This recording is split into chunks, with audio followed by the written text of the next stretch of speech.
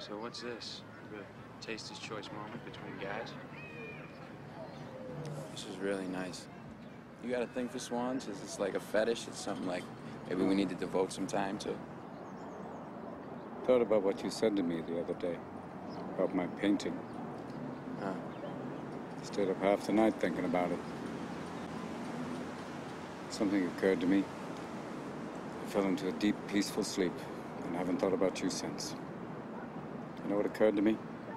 No. You're just a kid. You don't have the faintest idea what you're talking about. Why, thank you. It's all right. You've never been out of Boston. Nope. So if I asked you about art, you'd probably give me the skinny on every art book ever written. Michelangelo. know a lot about him. Life's work, political aspirations, him and the Pope, sexual orientation, the whole works, right?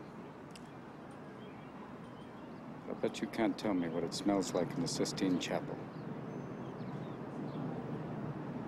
You've never actually stood there and looked up at that beautiful ceiling.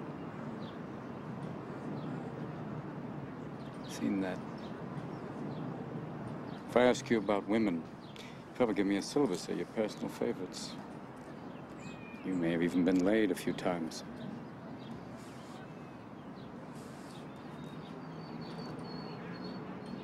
But you can't tell me what it feels like to wake up next to a woman and feel truly happy.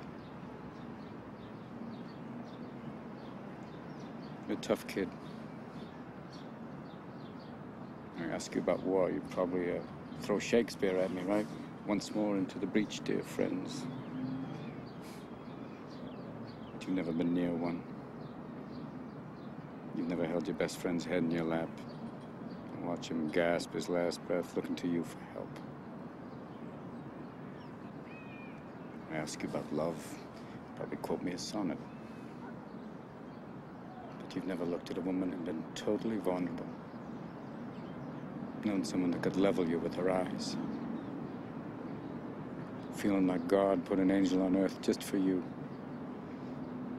Who could rescue you from the depths of hell. And you wouldn't know what it's like to be her angel. To have that love for her be there forever. Through anything. Through cancer. And you would know about sleeping sitting up in a hospital room for two months, holding her hand because the doctors could see in your eyes that the terms visiting hours don't apply to you. You don't know about real loss, because that only occurs when you love something more than you love yourself.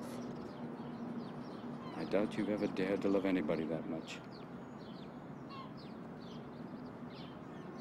I look at you, I don't see an intelligent, confident man.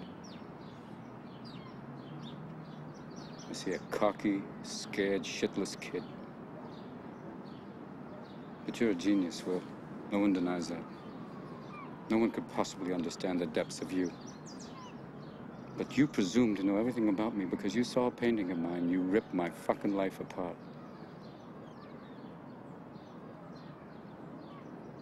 You're an orphan, right?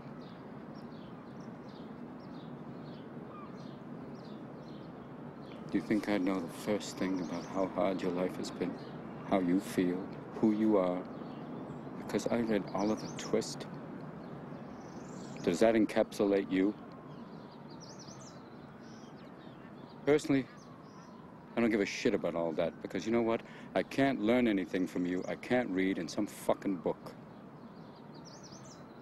Unless you want to talk about you, who you are. Then I'm fascinated. I'm in. But you don't want to do that, do you, Sport? You're terrified of what you might say.